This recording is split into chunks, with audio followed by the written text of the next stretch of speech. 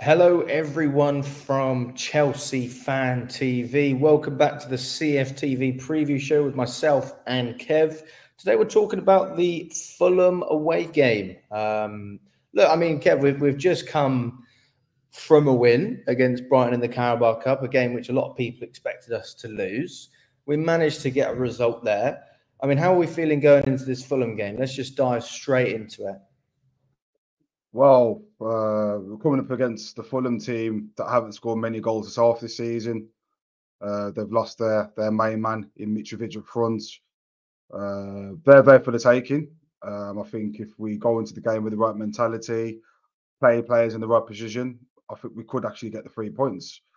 But it just all depends on how you want to, how much you fight for it and how much you want it. We are the better team than them. There should be no doubts in their minds and in the fans' minds that we we can't get the win. We, have got we. It's not even the fact that we we need to get a draw. The only, the only thing that we need to do in this game is get the win. It's so important. Um, with Luton Town even getting a win yesterday, they're basically one point behind us. That's how far we've fallen. We're actually 15th place. With a win, we can climb up the table a little bit towards that mid-table kind of position. Yeah, I mean, it's it's one of those things, isn't it? I mean, you look at the table, it's not exactly pretty, but I mean, things can change sooner rather than later, Kev. I mean, I, I was of the perspective that we were obviously going to have a better start, but I have also stuck by what I've said in the sense that I do think it's going to get better. And we've seen it this week. So many big teams dropping points. Man City lost against Wolves. Crystal Palace beat Man United. Liverpool dropped points against Spurs, even though, you know, a bit of a dodgy refereeing game. Oh, um, oh, well. In, yeah. in that sense. I mean, so it, there's always points up for grabs, and these are the games where you really need to win because everyone else is losing. So, you know, usually we only be looking at three, four, five teams. Now we're looking at 10, 12 teams above us in the table. Um, so obviously we're relying on more teams to do badly um, than not. But I, I, have to say, Kev, I mean, I, I still have faith in this team. I, I don't know about you, mate, but I'm looking at this team and I know that we've struggled to get results. I know that maybe we haven't been able to put the ball in the back of the net. That's fairly obvious. But we've we saw a sense of maturity against Brighton, in my opinion. Although Sanchez made a lot of sloppy errors and we could have easily that's conceded, we got the job done. It wasn't pretty. And that's what you want to see a team at the end of the day. When you're struggling, go back to the basics and just win a game of football. Yeah, precisely. Um, I did watch you Sanchez made a couple errors passing that from the back. Uh, Fati had a, a, brilliant chance to put them put them one nil up, and we was lucky on the night, lucky on the night, and you know this is our chance to get three three wins in the bounce. We've got Fulham and Burnley before we go into that very tricky period. We've got to get six points this week. Um, if we get four points, it's not good enough. We need a win back to back in the league just to give us confidence going into that tricky period. And like I said, Fulham are there for the taking. Haven't you know, uh, scored many goals herself. Burnley away the week after on a Saturday. Like, come on, these are games that we've got to pick up points now. It's getting to the point where we're getting really frustrated. We're creating chances, not scoring. There's no more excuses now. We've got to go out there, get the win. Local rival. The the players are built for it. So let's just go. Let's go and win. Let's just go and with no excuses. Yeah, I mean, um, there was obviously a lot of I was speaking with Joey Knight actually during the game. Kev, do you know? Do you know anything about Joey Knight? Do you know Joey Knight? Yeah, yeah, uh, yeah. I, I, followed him. I followed him before on, on my Instagram. Yeah, so I know he's uh, he's got his own blogs and does stuff on YouTube. So yeah, very uh, experienced person with with the vlog. So it's a good person to to be interviewing. Yeah.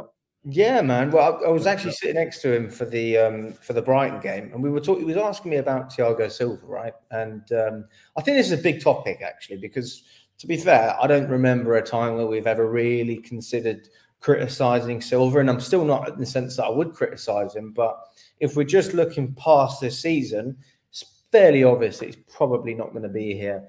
Um, and if he is here, he's probably not going to be a starter. I think he's already starting to slip away. And there are fans who are saying, well, actually, we managed to get a clean sheet against Brighton, um, you know, without playing him. So why not try the same thing against Fulham? Because we managed to actually win uh, the game against Brighton. Do you think we should drop Silva, or or can you see can you see Poch just sticking with the the man with the most experience?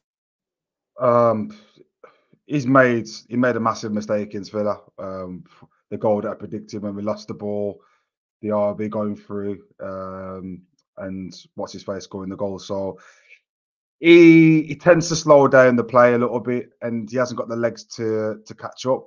So it would be right to drop him. Um, unfortunately, I think Disasi, you know, is a bit more younger, a bit more quicker, and a bit more enthusiastic. So unfortunately, you know, I think Silva. I think it's time for him to probably sit out, give him a rest, and probably bring him back in the Burnley game. Um, but for us to be getting on his back, the guy is a legend. He's done so much for the club. You know, he's a he's a real leader, but you know, he's had a couple of bad performances, so he does deserve to be dropped. Yeah, I mean, would you be starting with Colwill and, and Disasi, a similar sort of back line? Um, yeah. But then you've you've also got to take into consideration Chilwell as well because he's injured. But Cucurella had a great game against Brighton, so then you're thinking, oh, do you play him on the right? Because obviously Gusto's got a uh, one man, uh, one a one match ban. Um, so I mean, there's there's so many questions here, but I mean, if there's one thing we've learned from Poch in, in, in the most recent games, that he, he's willing to take a few risks, isn't he? And yeah. uh, I think the first risk we saw throughout the season was the trust he's been putting in in Mudryk. We're starting to see a run of games. I'd be very surprised if if Mudryk didn't start again. I think he's really starting to come into his own. I think he was one of our best players against Aston Villa. Um, but but yeah, I mean that back line. Uh, the thing is, right, we've been so solid. Even if you look at last season, Kev, we weren't even that bad defensively. It's just scoring the goals, isn't it? But one thing. I love about Colwill and we loved about Silva as well last season is is the ability to just pass the ball forward. But you're right, maybe Silva does slow the play down slightly, but I mean, I don't think it's terrible, mate. You know, I don't think it's terrible. Yeah. But then you're looking at it from the short term, and I, I don't think Silva's actually going to be too bad for us this season. But I'm saying to myself, well, you might as well play players like Disasi, players like Colwill. You know, these guys are going to be sticking around for Chelsea. They've got long-term contracts. They're on big money. You know, why not develop them so they can get to a higher level sooner rather than later? Precisely. Um, just Colwill's probably one of the best ball centre backs in the team. And we say the same thing about Silva going back a couple of years, where most of our attacking football came through Silva. But I think what's happening now is team are, are, are clocking onto the weakness in the defence, and it's Silva. If you can get men around Silva and stop him playing, you know, and get around him. If if you can lose, we can lose the ball. Same thing happened against Villa. We lost the ball, and you know, uh, Silva's is vulnerable to the counter attack. So we need a bit more pace in that position, and Silva doesn't bring that to you. Um, no, you're not wrong there, Kev. Yeah, so one of the things it's it's it's a bit of a hard choice. Maybe the Disasi could play right back Silva next to him, Colwill and Cucurella left back. I'd like to see Maatsen start probably Cucurella and the right and Maatsen at left back, and then we go Disasi and Colwill centre off. I think that would be the best uh, choice for that, that back four. I don't think I don't think Pochettino sees Maatsen as a left back though. I mean, he played him as a as a right winger against yeah. um, Brighton. He played him as a cam in other games in pre-season, and when he's come yeah. off the bench, it's been as a cam a lot of the time as well. So I, I can't see him starting um, Maatsen as a left back. But then I don't think that I don't think it's necessarily a smart thing to play Cucurella at left back when he's just had a great game at right back. So I'm like, well, if you are going to give him rhythm, at least play him in the same position, you know? So yeah, but it's not, it's not, it's not, a right, it's, it's not a right back though, isn't he? Cucurella is he's a left back. So okay, I understand. I mean, wasn't a left back, and he was solid for us when he played there. So I mean, I'm not saying Cucurella is going to be an Azpilicueta for us. So he's nowhere near as consistent, and to be honest with you, it doesn't seem like he wants to be here, but at least build on that momentum, though, don't you think? Mm, well, I'd just rather play players in the. We had this discussion last week. I'd just rather play players in a natural position, mate. Okay, I understand he had a, a decent game against uh, Brighton, but just playing left back, just playing and left back. Stop playing. This is when we're getting at struck. You're playing Enzo in, in the 10. You're playing Maatsen as a right winger. They're not in the natural positions. So how can we expect to get the best out of these players when they're not playing in that position? Maybe okay, you had one good game, but you could have a total disaster against Fulham. Mm. It's never know. Just just no, that, that, that is true, man. I mean, I suppose as well when you look at what Fulham have to offer, you know, they lost their best player, Mitrovic. He's gone to Saudi. He's gone to Al Hilal, and now they're stuck with this. It's um, Raul Jimenez, who back in the day, I'm not going to lie to you, he was an absolute baller, and you can still class him as that, but you know, he's not as dangerous as he was since he got his head injury. Um. Still a good striker, but I'm, I'm not really scared if I'm honest with you because for me, mm. he's the type of player who needs real chances, whereas before he needed half a chance to score a goal. I can't see us conceding many chances to Fulham, if I'm being brutally honest. I just don't think that they have the threats that Brighton had. I know Brighton should have scored against us, but I, I can't see Fulham creating those chances. And then you got players like Willian as well. I mean, that doesn't exactly scare me, Kev. I, as far as I'm Adama, concerned. Adama Traore as well is someone that can get you on, on, on a counter. Yeah, but yeah. They're, they're, not. I don't think they're not. They're not as good as the team that was last season, and we, we went down and lost. Willian played a, a brilliant game against us. He'll be up for the game, but they're not massive threats. And this is the thing if we can't step up and beat a team like Fulham in a local derby, Monday night football, can't go there and okay, we're going to create chances, but it's about putting the ball in the net. We need to. We keep saying the thing, copy and paste every week. We need to build momentum, build momentum. We'll win a game and then we'll lose a game, win a game. We need to go on a consistent run because after that Burnley game, you've seen the the run of games Hundred percent, mate. No, you're, you're absolutely right. I, I, have to agree with you on that. From from there, yeah, from there. So, I mean, um, also there's a lot of stuff about the midfield as well, mate. Because I'm looking at players like Ugochukwu. I think he deserves minutes. To be honest with you, I think Caicedo deserves minutes. I think Fernandez, if I'm being honest, based on where he's been playing as a number ten, you wouldn't say he deserves to start, especially when you got Cole Palmer who's playing so well as a number ten. So, so what are you doing with that midfield, Kev? I'd start um, Enzo in his, in his in his natural position in the six. Enzo is not a ten. Enzo is a is a deep line playmaker. He will he either plays next to Ugochukwu or he plays next to a Caicedo. Uh, I think that Ugochukwu played a brilliant game against Brighton, so, so why not start him and start Caicedo on the bench? But Enzo has to start in his natural position, mate. He's he's our best midfielder obviously we've been getting on his backs, but he's like I said, coming back to what I said a bit ago, you can't expect to get the best out of players and see the best performances when you're not playing them in the proper positions. Um, Cole Palmer so has to start in ten. are you going for a two in, in, midfield, sort of holding, and then and then a, an attack in midfield as well? Yeah, four two four two three one. Um, but with Jackson being out as well, he'd have to be Bro Broja up top, and he's he's played half an hour all season. He hasn't in the preseason. But coming back to what I said in one of the cams in pre-season, we've got two strikers. What if Jackson gets? I said it. What if Jackson gets injured? You've got Broja, who's going to come back, and he's not going to be fully fit. So this is where the, the manager or the board needs to be made accountable for it for not signing another striker um, for cover because Broja he knows if he's going to even going to last the full game. So what happens then? We're going to Palmer can probably play up front as well. So you know we've got options, but yeah, it's it's, it's, it's difficult at the moment, isn't it, to find that goal scorer. Hundred percent. I mean, uh, there might be a chance we change the formation. I mean, because if whoever's up top needs a bit more support, which we've been saying about Jackson anyway, maybe it's a case of seeing Sterling up there as well, trying to link up in, in a two with with Broja or something like that. I mean, I'm just throwing ideas out there, Kev. I'm not saying it's it's it's ideal, but you know, if you want to get the best out of players who are going to score goals, you can't isolate them. And you know, it's hard enough as it is with Jackson, who's fully fit. And you've just said it yourself. Bro has played what 30 minutes of football, and he's going to be chucked straight in the deep end against Fulham. But we might still be wrong with that. He might still not get minutes. He might be off the bench. Maybe Sterling starts up top. But then, you know, you ask the question of the wingers. You've you've clearly got Mudryk who deserves to start.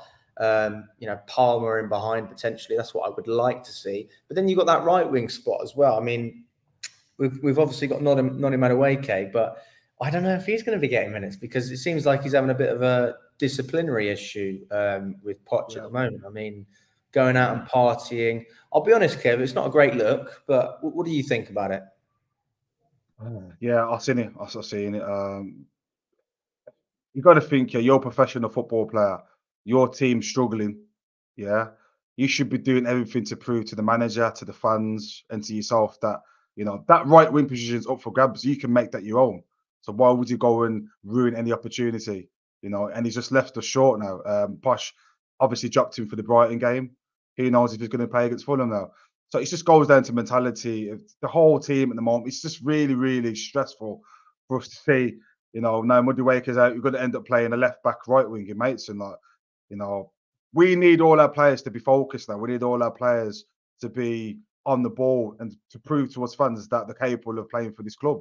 So it's down to Poch really if he's going to bring him back. But we do need Madueke in form. We do need him down at right side because he is a uh, a talent down at right side and he can he can put players under pressure. So it's up to Poch with, with that one. But we do need all our players now fucking on the ball. That's it, mate. I mean, um, look, I mean, we're almost done, but I, I do want to just talk about two other things. Um, I want to touch on Robert Sanchez. Do you think that he deserves a consistent run of games? Because I'll be honest, he did look a little bit shaky against Brighton. There's a lot of people asking for Petrovic to start that game as well, so it was it was a bit of an interesting call by Poch. Um, I mean, where do you stand with Sanchez? Because he's had some great games, but he's also had a few shockers. Well, against Aston Villa, he apart from the the goal that they scored, where he got beat his front post by Watkins, he was outstanding. Um, against uh, Brighton, a lot of errors playing at the back. He kicked it out of touch a few times, and he passed it straight to the opposing team. Personally, to start him again, um, you've gone and brought him for twenty five million pound. You've gone and sold Kepa to Real Madrid he's our best keeper. It's got to give him a, a, run to see how he can stand up. Like I say, with a couple of bad performances, you've got to bounce back and you've got to perform. So hopefully uh, he comes back now, performs and goals. And like I said, all that's consistency. Um, you can be good as good as you can for 80 minutes and then go and let in a stinker. Like we've seen it with Kepa plenty of times. It's about consistency and bouncing back from bad performances. And hopefully against Fulham, he bounces back and we can get the three points. Hundred percent, man. I really like Sanchez. I think I I've said it before and I'll say it again. I think when he's on his day and his mind's right, I think his distribution is up there with the best in the world. Ederson, uh, quote me. I know his distribution was absolutely crap against Brighton, but listen, um, when it's good, it's good. And uh, you know, I've never seen Kepa or any other keeper at Chelsea, to be brutally honest with you, kick a ball like Sanchez. So that's the reason I'm saying it because I don't the way it floats in the air, mate, off a goal kick. I saw him against Liverpool. I saw him kick the ball to Sterling directly on the chest. It wasn't even looping. It was just it was just through the air. It was gorgeous, mate. So when he gets yeah. it right, I mean, it is it is it is world class. I will go that far in saying it. But I mean, look, welcome to have their opinion on Sanchez. Um, but I mean, Kev, just just to finish off, mate, let's uh, let's get your predictions on the game. I mean, I'll be honest, you hit the nail on the head against Villa. And I hope you're right this time, but I hope it's a slightly more positive prediction. Honestly, I could I could see us getting the three points tomorrow. Um, oh, it's just, it's, it's just, because with Fulham, they're, they're, unpredictable. They haven't really got a style. They like to keep the ball, but I, I don't think they're gonna they're gonna want to play against us. And the teams that play against us are the teams that we're more likely to to win against. Um, I don't think they're they're going to be a sitting back team. Um, so I'd say 1 0 Charles tomorrow. Mate, a win's a win. I'll tell you what, a couple of weeks ago, Kev, I would have said, even if you said 1 0, that's a bit pessimistic. But a win is a win, mate. I don't care how we do it, just get the three points. And also, guys, I just want to say this. You've got to respect the commitment from me and Kev today because look, Kev's Kev's you know taking time out of his day to come and record this show. I'm in the gym, right? I'm in the gym in, in a cycling studio and I'm still recording this. So come on, guys, you've got to respect it, haven't you? Um, yeah. But yeah, I mean, so, so one 0 Kev. That's what we're settling with it. One 0 one 0 Charles. Bro, I'm not even going to predict it, man. I'm going to leave it with you because I like it. Positive vibes. I can see, yeah. I can see a positive result as well if I'm being honest, but I'm not going to give a score. If if I had to say something, I'll probably say one 0 as well. But it is a bit boring, isn't it? But we're not exactly yeah. the most exciting team in the world, so it, it's not. Just, it's not terrible. Just, just, just go and get three ones on the bounce. We've got we beat Brighton, we beat Fulham, and you know I'm sure we'll beat Burnley on Saturday. So that's three wins on a bounce. That goes to show that there is some encouraging encouraging signs going into this difficult period. So let's get the fucking win on Monday, and then let's go Saturday and get another one. That's it, mate. But listen, guys, if you haven't already subscribed to the channel, like and subscribe. Um, comment down below if you agree or disagree with any of the points that we have made today. And thank you for watching. If you've got this far, up the Chelsea, and we will see you very, very soon.